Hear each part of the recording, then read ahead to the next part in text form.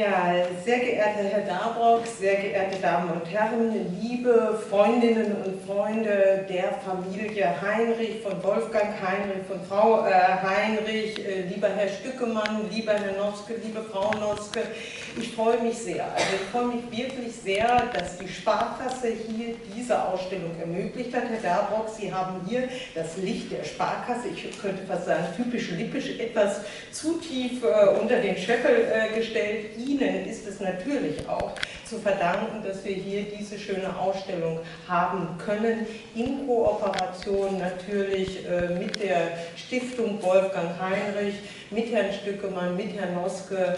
Also ich finde das eine schöne, ein schönes Zeichen der Anerkennung, was auch Sie äh, dem Künstler Heinrich geben. Auch dafür möchte ich mich nochmal im Namen des Landesverbandes ganz herzlich bedanken. Herzlichen Dank.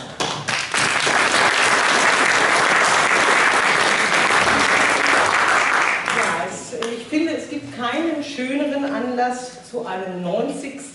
Geburtstag, so viele zahlreiche Gäste und Wegbegleiter, Freundinnen und Freunde äh, zu haben. Ich freue mich, dass auch der Bürgermeister der Stadt Bad Salzuflen bei uns äh, ist, um äh, zu gratulieren. Ich finde, es ist ein wunderschöner äh, Anlass und ich bin natürlich auch stolz, dass der Landesverband Lippe ein langjähriger Wegbegleiter von äh, Wolfgang Heinrich ist. Ich leider nicht in Person. Äh, die Zeit sind ungefähr sechseinhalb Jahre, dass ich äh, Herrn Heinrich, seine Frau, kennengelernt habe. Aber ich kann nur sagen, dass es äh, von Anfang an eine sehr freundschaftliche, herzliche Beziehung äh, war. Nicht nur über die Bilder, sondern auch die Personen. Wolfgang Heinrich, seine Ehefrau, seine liebenswürdige Ehefrau. Ich finde, da haben Sie gleich Menschen, die Sie ins Herz schließen können.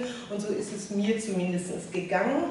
Aber ich kann auch eine persönliche Sichtweise zum Werk äh, von Wolfgang Heinrich sagen. Der Landesverband Lippe ist ja stolzer Besitzer zahlreicher Heinrich-Werke und auch da kann ich nur noch mal herzlichen Dank an meine Vorgänger, aber auch an äh, Ralf Noske sagen, dass er dafür gesorgt hat, äh, dass wir stolze Besitzer von Werken von Wolfgang Heinrich sind. Herzlichen Dank dafür. Neben dem Landesverband Lippe gibt es natürlich auch noch zahlreiche Werke im Eigentum der Stiftung. Das ist schön, dass wir frühzeitig eine Wolfgang Heinrich äh, Stiftung hier in Lippe in, äh, ins Leben gerufen haben. Sie haben es ja gesagt, Herr Darbock, äh, Herr Heinrich wohnt zwar nicht in Lippe, aber im Herzen, Herr Darbock ist er Lipper, davon bin ich sehr überzeugt, weil keiner kann Lippe so malen, wenn er nicht von dieser Region von Lippe überzeugt ist. Und ich bin mir sicher, dass Sie äh, Lipperinnen und äh, ein Lipper im Herzen sind, liebe Familie Heinrich. Ja, lassen Sie mich noch ein bisschen äh, zurückblicken auf die Zeit mit Wolfgang Heinrich aus der Perspektive äh, des äh, Landesverbandes äh, Lippe. Ich meine, aus der Perspektive von Wolfgang Heinrich können wir nur sagen, es ist ein langes, erfülltes äh, Leben und äh, wer Wolfgang Heinrich und Sie, liebe Frau Heinrich, ein bisschen besser kennt, der merkt, dass die Kunst äh, das Lebenselixier war, der ist, der Lebensmittelpunkt ist und ich glaube auch ein Geheimnis dafür, dass Sie so positiv in die Welt schauen und die Welt auch so positiv wiedergeben. Ich kann auch nur ein Beispiel nennen. Ich weiß, dass in vielen Häusern hier in Lippe Wolfgang Heinrich Bilder hängen. Auch wir beim Landesverband Lippe im Schloss Brake haben Bilder von Heinrich äh, hängen. Und ich bin mir sicher, dass gerade in schwierigen Situationen, ich habe äh, Bilder bei meiner Assistentin hängen und äh, das finde ich so schön, wenn Sie auf Wolfgang Heinrich Bilder schauen. Das müssen Sie mal selbst probieren. Bleiben Sie mal drei, vier Minuten davor stehen, dann haben Sie ein positives Gefühl. Und das ist sozusagen ein Geheimnis von Wolfgang Heinrich, von seiner Malerei, dass er die schönen Seiten des Lebens malt, äh, die schönen Seiten der Landschaft. Es ist ein Landschaftsmaler par excellence, den wir hier für und in Lippe gewonnen haben. Und ich kann nur sagen, er wirkt auf den Betrachter und ich glaube, es geht mir wie vielen hier im Raum, dass diese Wirkung ungebrochen ist, Herr Heinrich. Und dafür können wir Ihnen auch nur alle herzlich danken.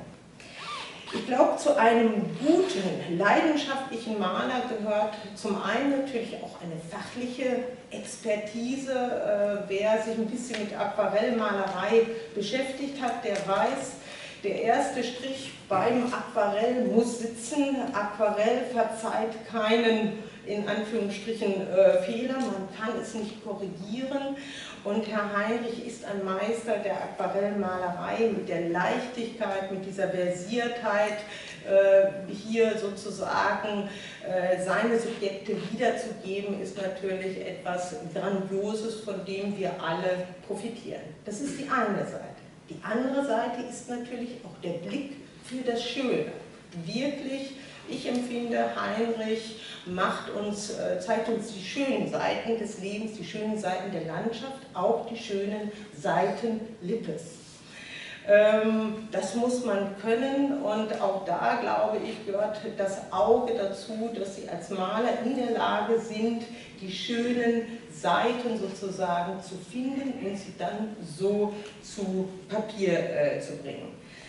Diese Expertise, ähm, Heinrich, haben Sie sehr früh gehabt. Sie haben sie verfeinert, Sie haben sie in unterschiedlichsten äh, Phasen äh, gezeigt. Äh, sie waren nicht nur in Lippe unterwegs, aber auch in Lippe.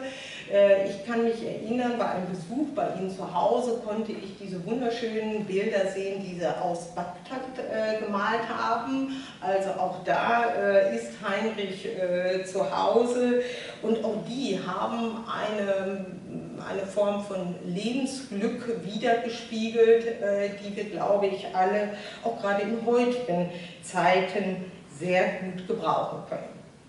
Sie selbst haben einmal gesagt, dass Farbzusammenstellungen Ihnen sehr wichtig äh, sind in Ihren Kompositionen. Ich darf Sie einmal dazu zitieren. Farben haben mir immer viel bedeutet. In Emil Noldes Bildern bewundere ich die Intensität und die Leuchtkraft äh, der Farben. Mir geht es vor allem um die Reinheit und Transparenz der Aquarellfarbe wobei ich aus den Originalfarben immer neue, der Stimmung angemessene Töne mische. So Wolfgang Heinrich. Quelle ihrer Inspiration, ich habe es schon eben erwähnt, waren sicherlich ihre Reisen im In- und äh, Ausland als jemand, der sucht, der sieht, der findet, der äh, empfängt, äh, glaube ich, äh, haben sie dort viele Inspirationen aufgenommen. Sie haben, wie ich es eben gesagt habe, in den 60er Jahren beispielsweise auch äh, Bagdad äh, besucht. Sie haben hier wunderbare Skizzen mit nach Hause äh, gebracht und wir kennen auch zahlreiche Radierungen. Wir verbinden Heinrich natürlich sehr stark mit der Aquarellmalerei, äh, aber es gibt auch wunderschöne Radierungen äh, von Wolfgang Heinrich, also auch in anderen äh, Bereichen sind sie professionell unterwegs. Heinrich, ich habe es gesagt, ist ein Augenmensch, muss ein Augenmensch sein, ein Landschaftsmaler par excellence.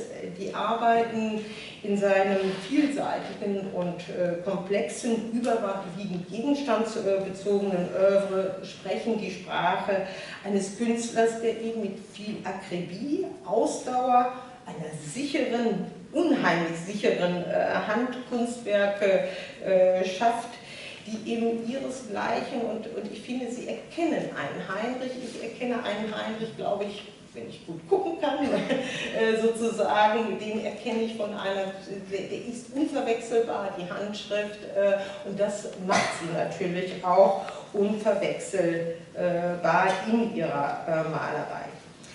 Sie machen Kunst, wie soll ich sagen, Kunst um der Schönheit willen. Auch das tut, glaube ich, gut in Zeiten, wo sie immer wieder viele ja, Themen über die Kunst transportieren wollen. Heinrich will nur Schönheit, das Positive transportieren und die Wirkung ist auch äh, dementsprechend, ich kann das nur für mich äh, sagen, Heinrich kann man nur mit positiven Gefühlen äh, betrachten.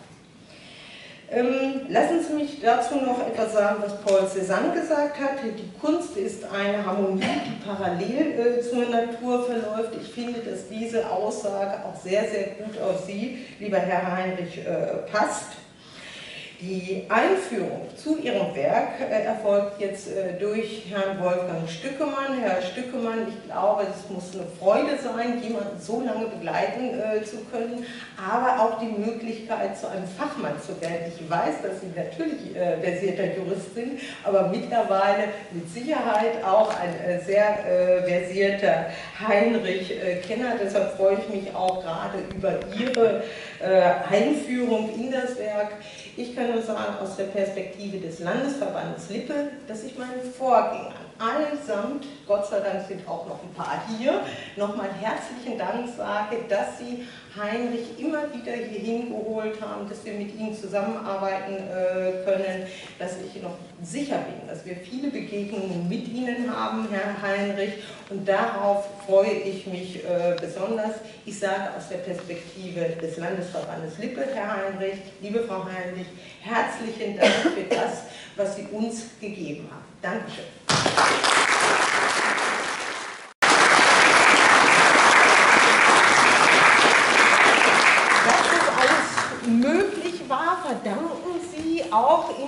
Ihrer Wegbegleiterin ja. äh, Frau Heinrich.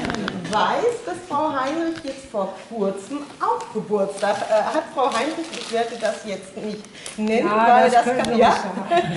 Also Sie stehen beide, ähm, sind jetzt 90 äh, geworden. Ich finde, das ist das beste Zeichen, wenn man etwas mit Leidenschaft äh, macht und mit so viel innerer Anteilnahme, mit so viel Freude, dann hält das äh, jung. Ja. Dafür sind Sie das beste Beispiel und einen kleinen Frühlingsgruß für uns. Ich sage nochmal herzlichen Dank auch an Sie, Frau Rein.